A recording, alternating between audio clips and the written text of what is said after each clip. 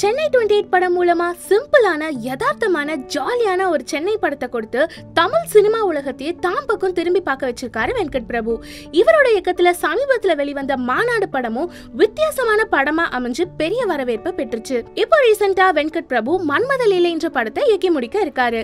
கூடிய சீக்கிரமே வெளியாக போற இந்த படத்தோட கிளிம்ஸ் வீடியோ ஒன்னு யூடியூப்ல நேற்று ரிலீஸ் ஆகியிருக்கு. இந்த படத்துல ஹீரோவா நம்ம அசோக் செல்வனும் ஹீரோயின்ஸ்ல ஒருத்தங்களா ரியாசமனும் நடிச்சிருக்காங்க. இந்த கிளிம்ஸ் வீடியோல அப்படி என்னடா சுவாரஸ்யமான விஷயம்னு பார்த்தா நம்ம அசோக் செல்வனும் ரியா சுமனும் இவங்க ரெண்டு பேரும் சேர்ந்து நடிச்ச முத்த காட்சிகள் மட்டுமே இடம்பெற்றிருக்கு இது வரைக்கும் நம்ம தமிழ் சினிமால வெளிவந்த கிளிம்ஸ் வீடியோஸ்ல இப்படி ஒரு வீடியோ வந்திருக்க வாய்ப்பே இல்ல. இந்த கிளிம்ஸ் வீடியோல முன்னாடி வேகமா நகர்ந்துட்டு இருக்க சில காட்சிகள்ல பெண்களோட மார்பக பகுதிகள் க்ளோஸ் அப் காட்சிகள்ல இடம்பெற்றிருக்கு யூடியூப்ல சென்சார் இல்லாததுனால இந்த மாதிரி காட்சிகள்லாம் இடம்பெற்றிட்டு இருக்கு இந்த ஒரு காரணத்துக்காக தான் நிறைய பேர் யூடியூப் வீடியோகளுக்கும் சென்சார் வேணும்னு கோரிக்கை வச்சிருக்காங்க.